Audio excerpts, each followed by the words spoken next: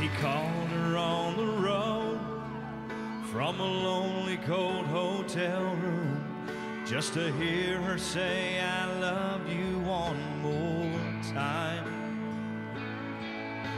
And when he heard the sound of the kids laughing in the background, he had to wipe tear from his eyes. A little voice came on the phone, said, Daddy, when you coming home? He said the first thing that came to his mind, I'm already there. Take a look around.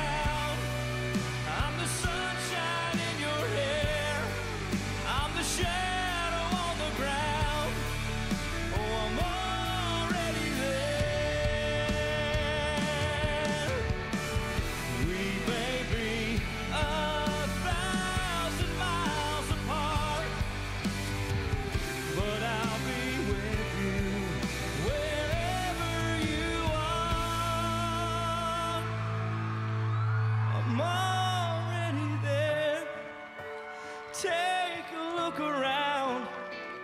I'm the sunshine in your hair. I'm the shadow on the ground.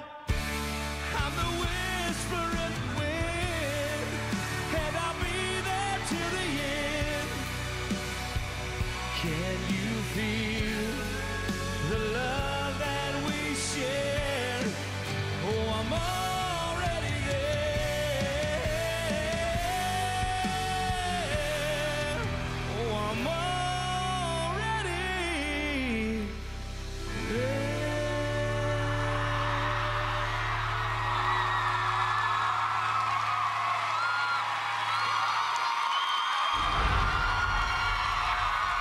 Thank you.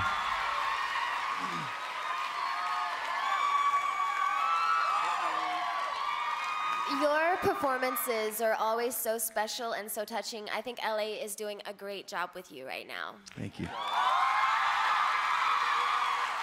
I agree with Britney. I think that you always do a wonderful job. I I feel as if maybe this wasn't your best performance, but it's still incredible. Okay. Thank you. Um, Tate, I absolutely love the song, love the story about you and your dad.